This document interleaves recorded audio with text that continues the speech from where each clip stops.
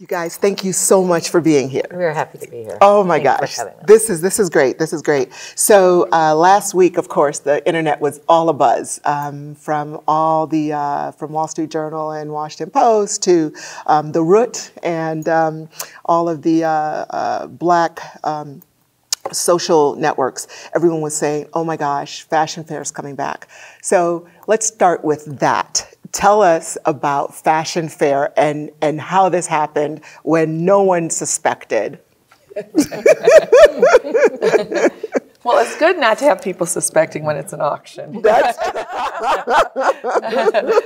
so I, I, think, you know, Cheryl and I had many conversations because we recently bought, as you know, Black Opal, and so that's really been our focus and what we've, you know, been working on the past months, and we'll continue to work on Black Opal. But we just could not let this incredible, iconic brand get away from us. Right. And so we went in there, and we are so lucky, and you know, as you would say, blessed yes. to be the winners of that incredible brand. Wow. And you were able to pull together the investors. Tell us about that process. Yeah, we actually um, uh, have investor, as, as you it was noted, uh, and Evanston-based. Uh, uh, yes, uh, Alex Lebowitz, and yes. um, and he was the uh, investor for Black Opal. He believes in our vision and what we're trying to do, and uh, he wanted to be a minority investor in this as well. And so, you know, it was it just all came together, and that's what happens when good things all come together at the and right when, time. And when things are supposed to be. That's exactly right. That's exactly right. That's what I do. Um, I want to just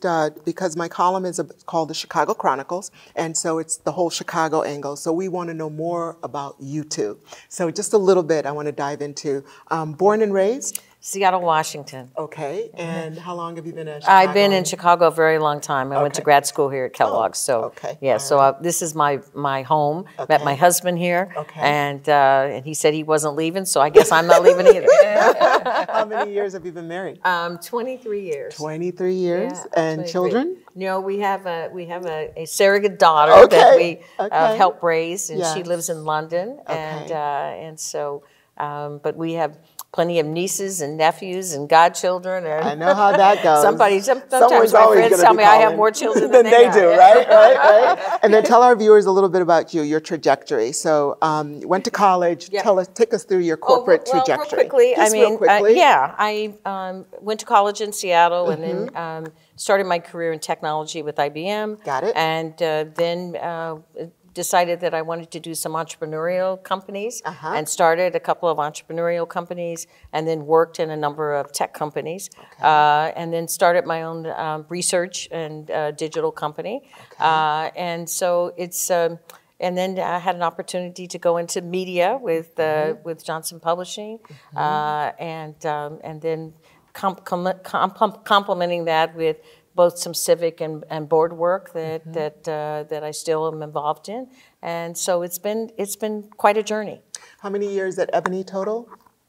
I was at Ebony. Roughly. Uh, Four. Four years? Okay, yeah, four okay. years, yeah. And then lastly, what have you been doing since then? Yeah, I um, I have a, um, a consulting, digital consulting business. I okay. actually started Is that in, Sage? Uh, no, no, in Neon, Nia Enterprises. Okay. I started in um, in 2000. Okay. And so um, I've been doing work with companies consulting them on digital strategies okay. and, uh, and, and growth strategies. So that's really my, my primary focus. And okay. so that was one of the reasons this was so attractive because it's not broken. It just needs, right. you know, right. um, it needs to be repositioned for growth. And that is your expertise? Yes. Growth strategies, yes. digital? Yes.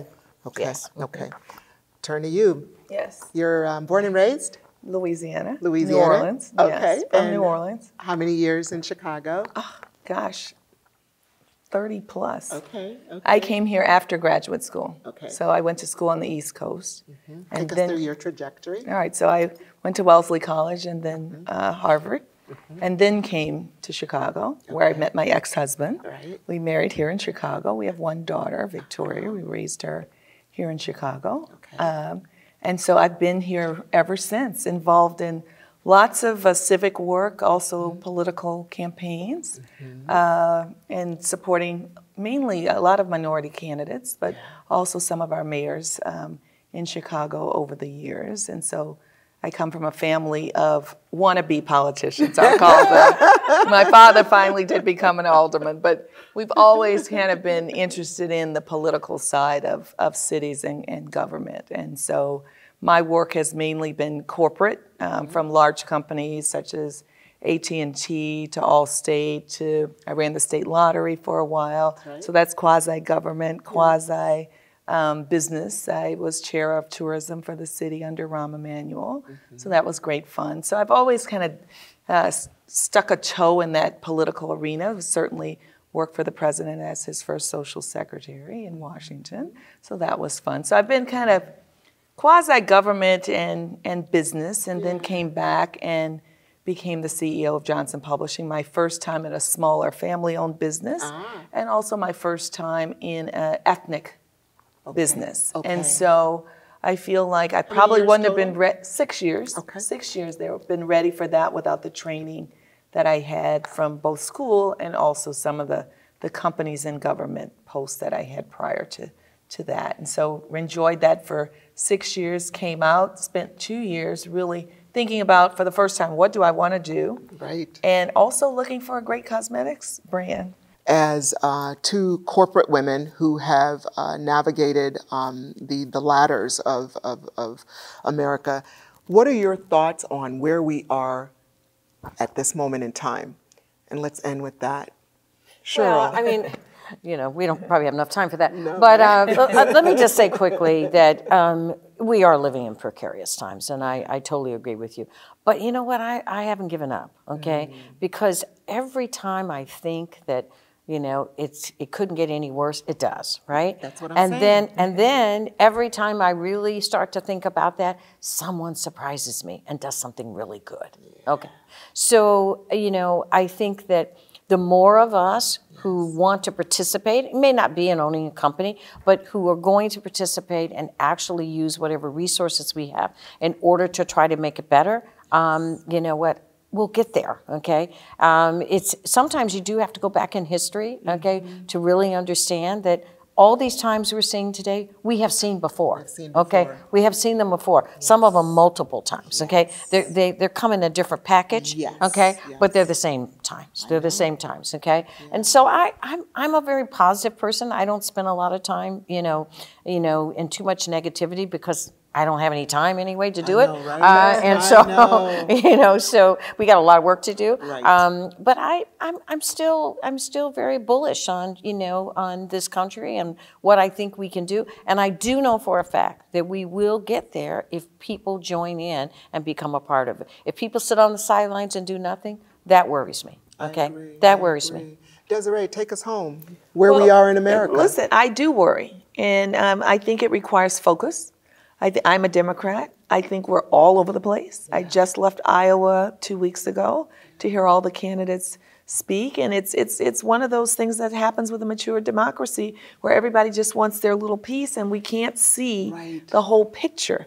And so it worries me, you know, as I think about future leadership and us coming together. And we we got to focus and we got to come come together. People have to take part. They got to vote. They have to speak. They have to be a part of it. They can't just sit there and, and say, bold. I hate this. Mm-hmm. Did you vote? Yeah. Right. No, yeah. I don't think my vote is worth anything. Right. Well, all the people that didn't vote, have they gotten yes. together and made a decision? Mm-hmm. It is worth something. Is. I mean, and so I am encouraging people, you don't have to like my candidate. Right. It's okay. I'm a Harris girl. Right. You don't have to like Senator Harris, but do something. Yeah.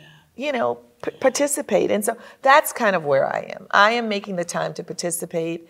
I'm going to knock on doors in South Carolina. I'm going to go to back to Iowa. So I want to be. I don't want to be one of those sidelines people. I'm making the time to get out there and um, let's see. Let's see what happens. But we we got to participate. That I think is the the key. And it could be your city council. It could be your neighborhood group, you. your PTA, right. yeah. your community you. organization, your church. Right. Just be a part of your community. Just just be a part of it. Right. Everybody has a voice. Everyone has a voice. And if you don't participate, you get what you get. You get what you get. And you can't complain. Absolutely. So, Well, you um, can, but it won't well, you can't But it complain. won't help. right, right. That's what my mom always said. Yeah, well, I could right. complain when you ask how she's doing. Well, I could complain, but it won't help. Um, so, on that note, uh, we just want to thank you both for taking the time to come in and chat with us. Um, this has been just a, a beautiful conversation. I am so ex- excited about what you're going to do with Black Opal and Fashion Fair. Two brands that I use. I miss my favorite lipstick with What is Fashion it? Fair. I'm not telling you We on know. camera. Probably I think chocolate I- raspberry. I think I told you anyway on the phone. I'm like, Garlic where's that raspberry? Very Where's that good. plum? Right. Those Plum, are them, yeah. right? Those two. Yeah. Um, so anyway, um, thank you for that, and and we will be watching. Um, uh, we will be rooting for you, and. Um, we just once again thank you for sharing a little bit of your personal lives and your thoughts on where we are today. Thank you. Thanks.